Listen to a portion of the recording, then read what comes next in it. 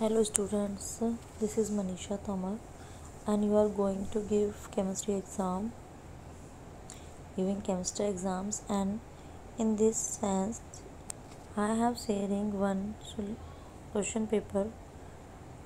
On the basis of this pattern you have to do question. You will find question paper and also you will see some important questions in this session. This is question paper of 2018 it is whole syllabus chap whole syllabus paper but i will here discuss which is in your syllabus for term 2 because now half syllabus is coming in your exam. Okay? So let's start. A galvanic cell. First question is a galvanic cell converts energy to energy. So answer will be chemical energy into electrical energy. So answer is chemical energy into electronic electrical energy. Galvanic cell is a device which converts chemical energy into electrical energy. Second question is from the uh, solid state which is not in your syllabus.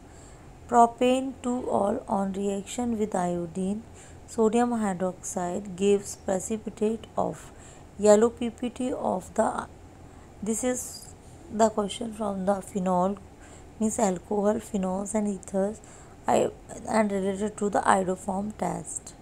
The geometry of XeOF4 this is also from P block.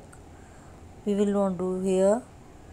Purification of aluminium it is also not in syllabus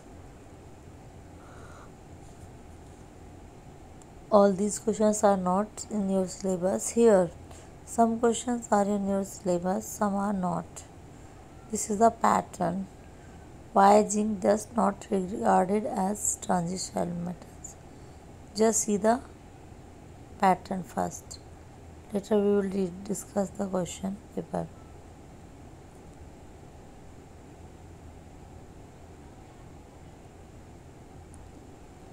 Easy mostly questions are not in your syllabus